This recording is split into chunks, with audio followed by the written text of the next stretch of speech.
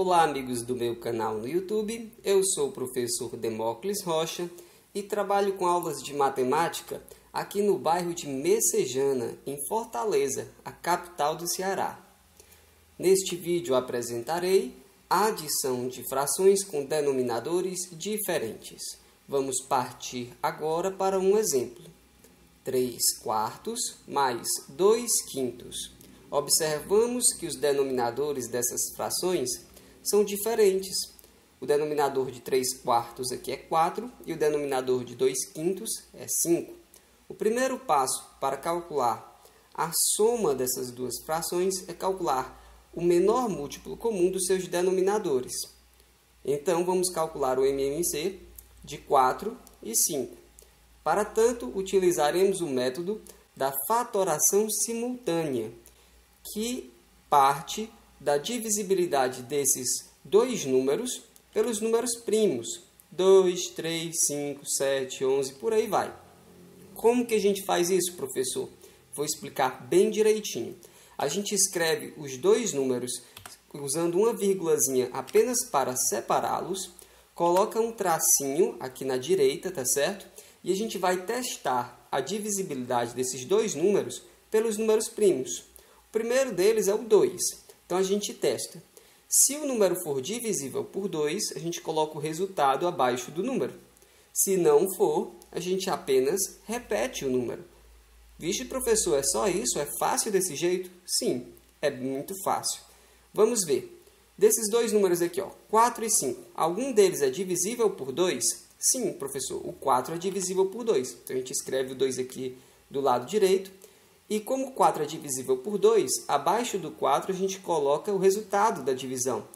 4 dividido por 2 dá quanto? 4 dividido por 2 dá 2. Ou a gente também pode falar assim, ó, 4 é igual a 2 vezes 2. Ok, foi fácil. Como o 5 não é divisível por 2, a gente apenas o repete. E a gente continua com esse processo. Algum desses dois números aqui é divisível por 2? O 2 é divisível por 2, né? Então a gente escreve o 2 aqui do lado, tá certo? Quanto que dá 2 dividido para 2? Você vai dizer, professor, dá 1. Ou então você pode dizer assim, ó, 2 é igual a 2 vezes 1. Ok. Como 5 não é divisível por 2, a gente apenas o repete. Muito bem. Agora aqui temos os números 1 e 5. Claramente, nenhum deles é divisível por 2, nem por 3. Na verdade, o 5 é um número primo, ele vai ser divisível pelo próprio 5. Então, a gente escreve o 5 aqui. Como 1 não é divisível por 5, a gente repete, tá certo? E quanto que dá o 5 dividido por 5? Dá 1. Pronto, essa parte acabou. Essa parte termina quando no pé de cada uma dessas colunas aqui da esquerda temos o número 1. E agora, o que, que eu faço, professor? Para calcular o MMC de 4 e 5, você vai multiplicar esses números que aparecem aqui na coluna da direita. Ó. Quanto que dá 2 vezes 2? 4. Aí você guarda o 4 na memória. Aí 4 vezes 5 dá 20. Então o MMC de 4 e 5 é 20. Esse é o método da fatoração simultânea. Professor, tem outro método que a gente pode usar? Tem sim. Quando os números são pequenos, pode ser mais fácil para você listar, fazer uma lista com os múltiplos de cada um dos números. Como assim, professor? Desse jeito, olha. Temos aqui os números 4 e 5. O que, que a gente quer? Primeiro a gente quer calcular o MMC, o menor múltiplo comum. Então a gente lista os múltiplos de cada um dos números e vê qual é o menor múltiplo em comum. Então, por exemplo, quais são os múltiplos do 4? Primeiro você tem o próprio 4, que é 1 vezes 4, né? 2 vezes 4, você vai dizer que dá 8. Aí depois vem 12, depois vem 16, depois vem 20, depois vem 24 e por aí vai. Agora os múltiplos do 5. Você vai ter 5, 10, 15, 20, 25, 30 e por aí vai. Aí você observa qual é o menor múltiplo comum, qual é o menor número que é um múltiplo do 4 e também do 5 ao mesmo tempo. Aí você observa que esse número realmente é o 20. Esse método é ótimo quando os números são pequenos. Então você tem aqui ó, 4 e 5 números pequenos. Se os números for um muito grande e o outro muito pequeno, assim já fica ruim de usar. Então é bom que a gente saiba as duas formas, pelo, pelo algoritmo da fatoração simultânea, e a gente saiba essa forma aqui quando os números são pequenos, é muito útil, tá?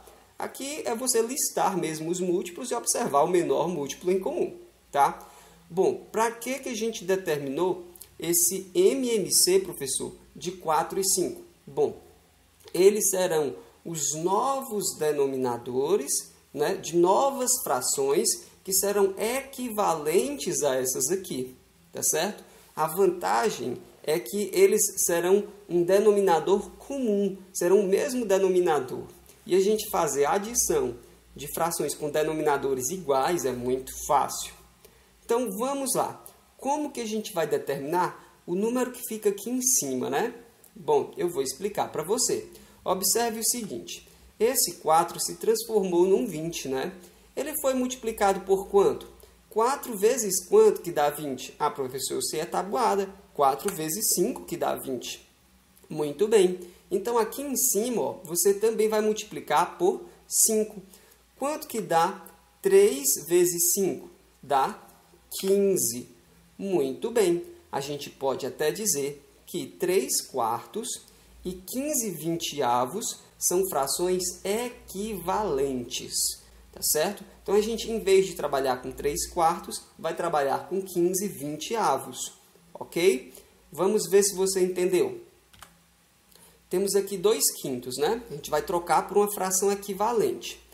Perceba que o 5 foi transformado num 20. O 5 foi multiplicado por quanto? Ah, professor, foi multiplicado por 4. Eu sei a tabuada. Muito bem. 5 vezes 4 dá 20 mesmo. Então, aqui em cima, ó, a gente também multiplica por 4. Exato. 2 vezes 4, quanto que dá? Dá 8. A gente pode até dizer que 2 quintos e 8 vinteavos são frações equivalentes. Alguns professores gostam de explicar assim, olha. 20 dividido por 5 dá 4, 4 vezes 2 dá 8 dá no mesmo do que eu estou explicando aqui. Eu gosto de explicar assim: o número que você multiplica embaixo é o número que você multiplica em cima. O 5 foi transformado no 20, ele foi multiplicado por 4. Então o 2 vai ser multiplicado por 4 também, vai se transformar aqui num 8. Temos duas frações que são equivalentes. Muito bem. Então, professor, a gente troca essas frações aqui com denominadores diferentes por novas frações equivalentes a elas porém com denominadores iguais. Porque aí fica muito fácil, cara. Quando os denominadores são iguais, você só repete o denominador e faz as contas não é, com os numeradores, no caso 15 mais 8. Tá bom? Quanto que dá 15 mais 8? Você completa. Ó, 15 mais 8 vai, ó, 16, 17, 18, 19, 20, 21, 22, 23. Muito bem. Então, no numerador vamos ter aqui 23. A nossa soma, o resultado de uma adição, a gente chama de soma, né? A soma dessas duas frações é 23 vinteavos. Uma fração imprópria, porque o numerador é maior que o denominador, né? Ela é imprópria, tá certo? E não é aparente. A fração é aparente quando o numerador é um múltiplo do denominador, né? Então, essa aqui é uma fração imprópria.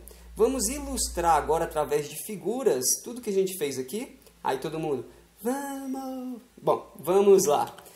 Agora vamos representar o que a gente fez por meio de figuras. Temos aqui um retângulo que representa o inteiro. Ele foi dividido em quatro retângulos congruentes, tá certo? E a gente pintou apenas três. Então aqui está representada a fração 3 quartos. A fração 2 quintos está representada aqui nessa figura. Temos aqui um retângulo que representa o inteiro.